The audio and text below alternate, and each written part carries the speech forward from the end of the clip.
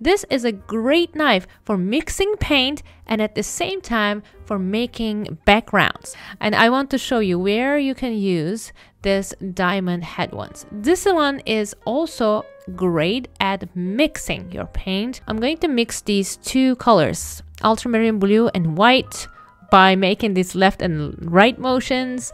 I'm going to move slowly from top to bottom.